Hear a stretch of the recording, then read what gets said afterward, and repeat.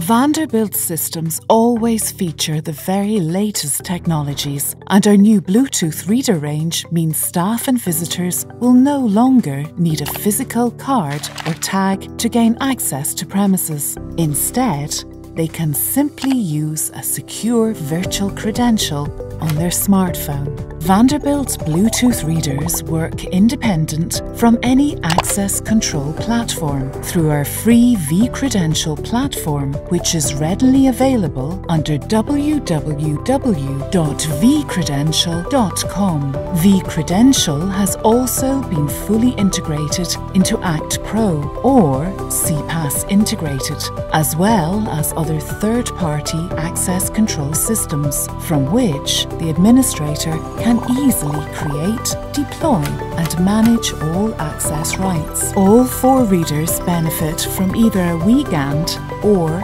OSDP communication interface. They are the Wiegand Blue A Bluetooth reader, Wiegand Blue B Bluetooth reader with keypad, OSDP Blue C Bluetooth reader, and OSDP Blue D Bluetooth reader with keypad. All are activated by the VI Mobile ID app.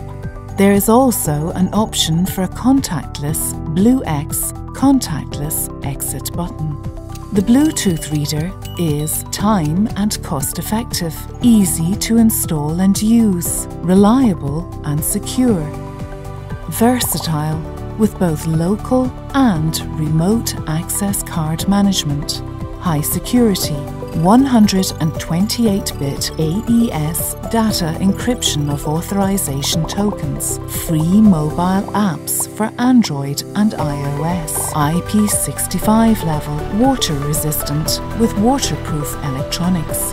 Vanderbilt's Bluetooth readers can work together with traditional RFID access credentials and can extend or replace them with mobile credentials on your phone. Introducing Bluetooth readers into existing ACT systems reduces the total cost of ownership by extending the life of the existing system controller and hardware and allows a smooth migration to mobile credentials, creates a new level of end customer experience using the convenience of a smartphone for access, and offers enhanced performance with future market packages.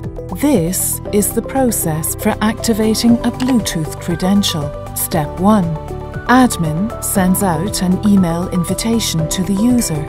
This email contains instructions for the user on how to download the VI Mobile ID app, alongside a six digit alphanumeric activation code. Step 2. The end user downloads the Vanderbilt VI Mobile ID Bluetooth app and enters the activation code. The end user can now use their smartphone to access areas with Bluetooth readers installed by presenting their phone to the reader called Show to Go, shaking their phone whilst approaching the door called Shake to Go. Using manual button mode by tapping a button on the smartphone and hands-free mode by passing in front of the reader without having to present the smartphone. The Bluetooth readers come with a perpetual license, which means customers receive a non-expiring license. There is no obligation to pay for support or update services.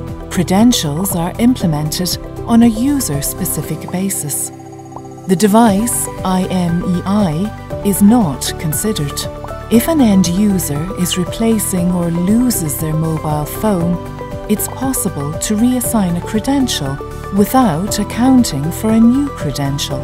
If the end user is leaving the company and is being deleted as a user, the Bluetooth credential is also deleted and the credential cannot be assigned to a new user. Vanderbilt Smart Access for everyone, everywhere.